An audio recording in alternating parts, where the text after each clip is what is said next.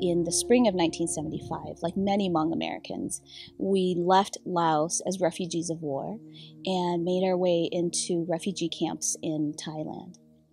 And that's where I spent uh, three years of my life uh, in the refugee camp uh, with my parents, grandparents, and two other siblings.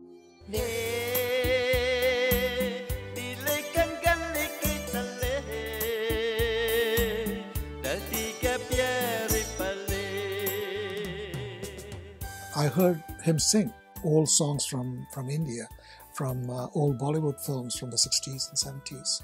I heard it and I was astonished.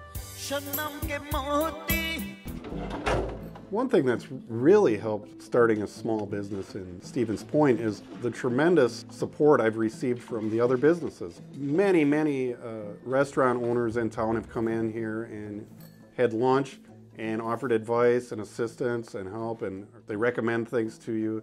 So this, this community as far as the business community, I've found it to be wonderful. When 300 students, faculty, staff, and community members showed up in full force with their children even to walk across and occupy Old Main, I felt so surrounded by the people of this campus that made me proud to be a pointer. In one week, we organized and empowered over 500 people to tune into our movement. Imagine how much we can do together by August.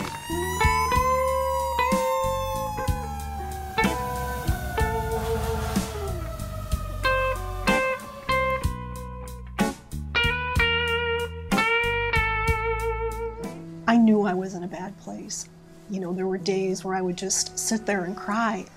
And being uh, disabled, low income, where does a person like myself go who lives alone and didn't have somebody to take care of me? So I chose the Portage County Health Care Center to spend my time recovering. Three months of therapy, and I was walking again. That was miraculous to me.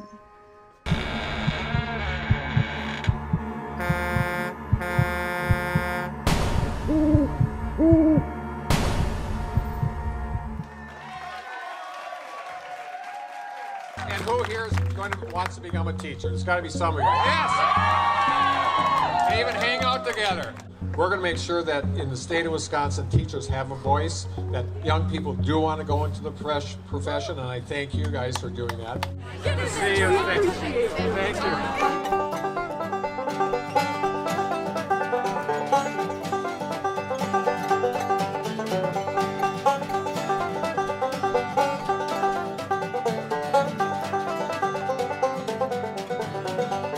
I just love those kids. Good morning. Smile.